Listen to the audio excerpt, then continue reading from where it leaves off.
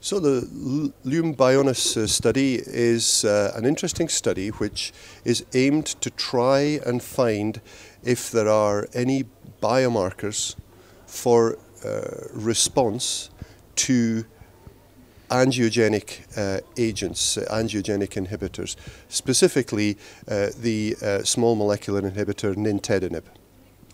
We have failed so far um, in the anti-angiogenesis space with the drugs that have been uh, used now for quite some time to identify any uh, biomarkers of response.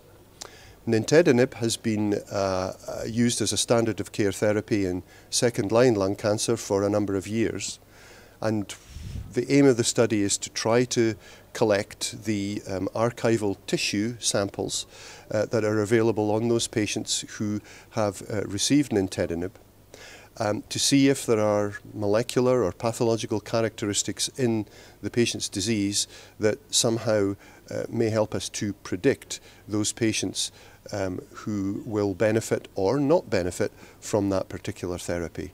So far, uh, we're still collecting data. There are no results available.